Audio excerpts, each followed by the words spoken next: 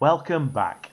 Let's shake off those winter blues and join us for a compilation of this year's maximum fun, minimum cost aero towing of radio control foam models. As ever, please like and subscribe to support our channel.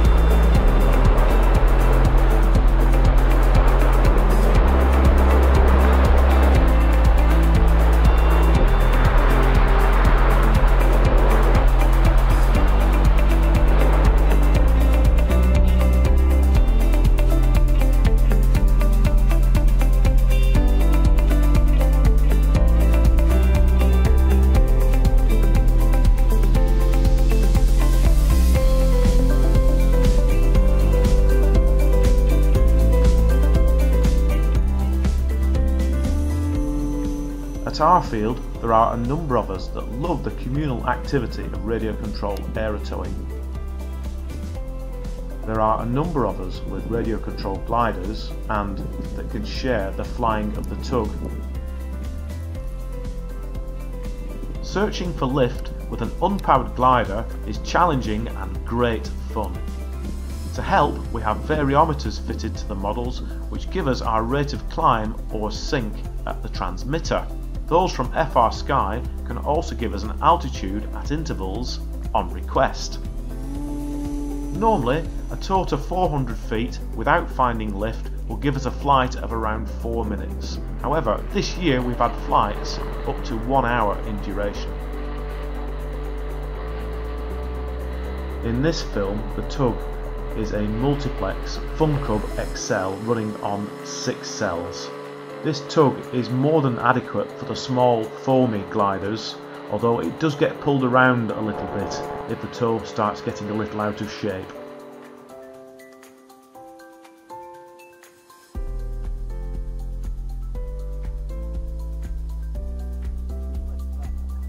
For the gliders, the Heron has a distinct advantage over the Solius in that the wings have flaps and ailerons and that gives the pilot the ability to adjust the camber to suit the conditions. Also, this enables crow braking, that is, flaps down, ailerons up, for precision spot landings.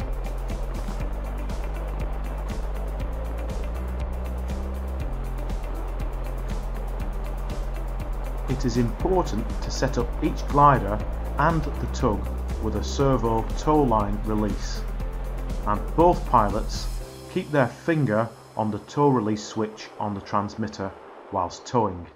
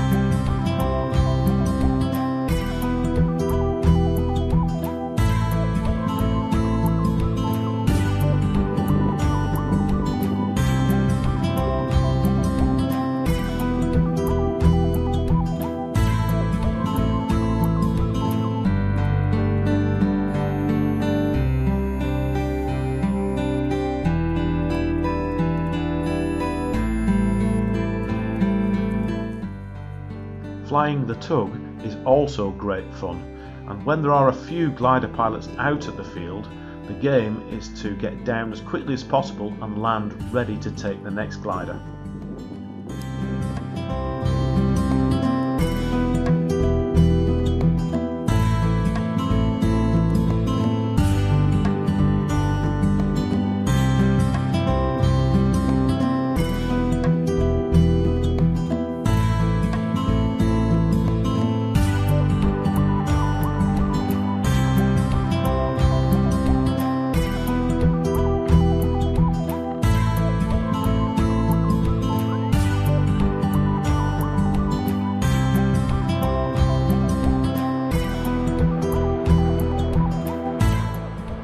Slowly but surely, more of our club members are getting interested in gliding as they see what great fun it is and what a challenge it is to sniff out lift and stay up as long as possible.